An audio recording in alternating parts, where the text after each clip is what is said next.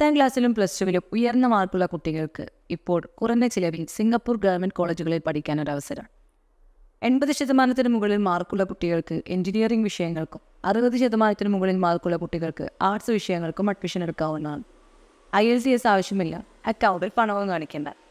മൂന്നര വർഷം കൊണ്ട് തന്നെ പി ആർ നേടാമെന്നതാണ് ഇതിന്റെ ഹൈലൈറ്റ് ചുരുങ്ങിയ കാലഘട്ടം കൊണ്ട് തന്നെ സിംഗപ്പൂർ സിറ്റിസൺ ആകാനും കഴിയുന്നു. കൂടുതൽ വിവരങ്ങൾക്ക് സ്ക്രീനിൽ കാണുന്ന നമ്പറിൽ ഇപ്പോൾ തന്നെ കോൺടാക്ട് ചെയ്യും